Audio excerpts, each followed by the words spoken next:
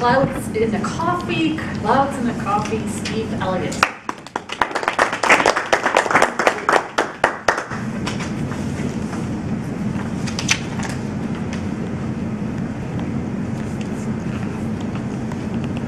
We've all been asked the same question, maybe in a job interview, maybe at a networking event, or maybe even at a Toastmasters meeting.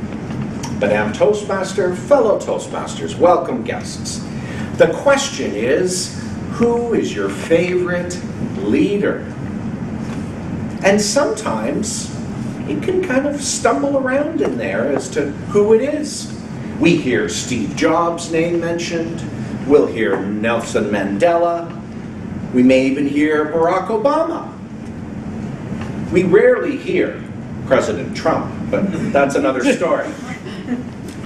I was thinking about the leaders that I've been blessed to work for, whether they were my immediate supervisor or whether they were somebody higher up the food chain. And I sat on my balcony looking at the clouds in my coffee, trying to figure out who is this leader that I admire the most.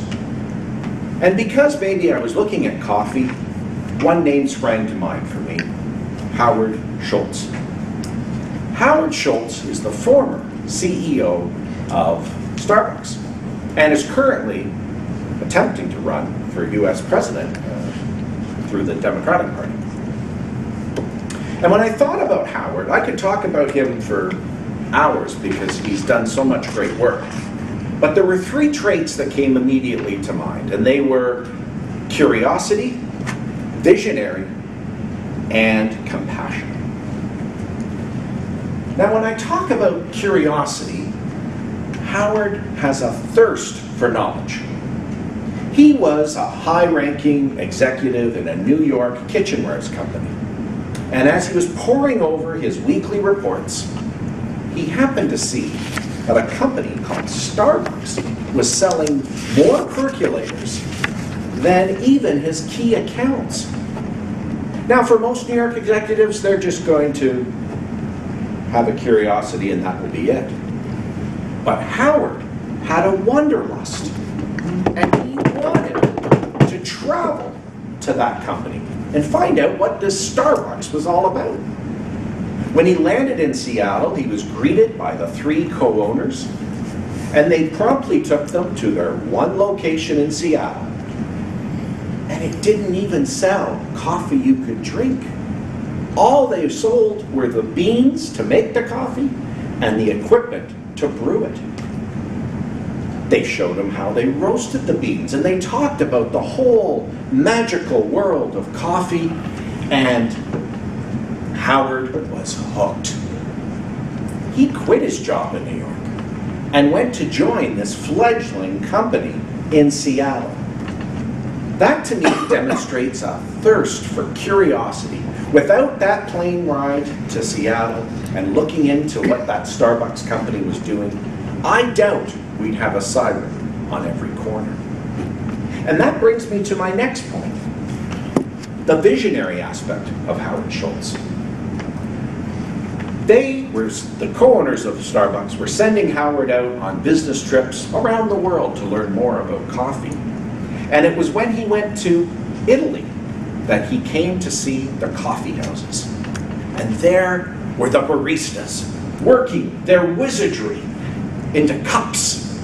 There was noise and chatter. Families were gathering around the table. Old friends were meeting. And Howard immediately saw that there was nothing like this in America, and he had a vision. So he flies back to Seattle, creates a wonderful presentation delivered with passion and with grace and gusto. And the three co-owners of Starbucks say, we're not interested in that. We just sell beans, Howard. We're not going to have lattes and cappuccinos and coffee being brewed in our stores. We are about the bean. What does Howard do? He quits Starbucks and he creates his own company of coffee houses called Il Giornale. Hope oh, there's no Italians in the audience. I may have butchered that. a series of coffee houses in Seattle. Now, who does Howard get to supply him the beans? Starbucks, of course. and so the coffee houses do amazing business. And while this is transpiring, the three co owners of Starbucks are now at each other's throats. And they want out. So Howard scoops them up, buys them out, and takes over the brand Starbucks. And that's the vision that Howard brought to the rest of North America. The final point is probably best highlighted by the title of this book that Howard wrote, called Pour Your Heart Into It Compassion. Howard was a leader like no other. For when he was a teenager, living in the Bronx, New York, in very modest surroundings, his father broke his leg as a delivery truck driver and couldn't work for the weeks that his leg was in a cast. He saw his father wither on the couch. His male ego had been punctured. His kids and his wife were having to go out to make a living so that they could survive.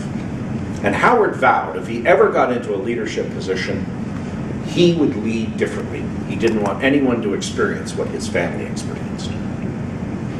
So when he took over Starbucks and became the CEO, one of the very first acts he did was he got health care coverage, not just for the full time employees, but all employees, even part time baristas in the stores.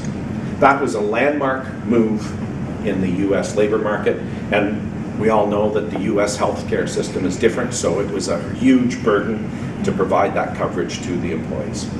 The funniest story I can share with you about Howard's compassion, after he had done the healthcare, he started to think, what could I do more to help the, all the people of the company?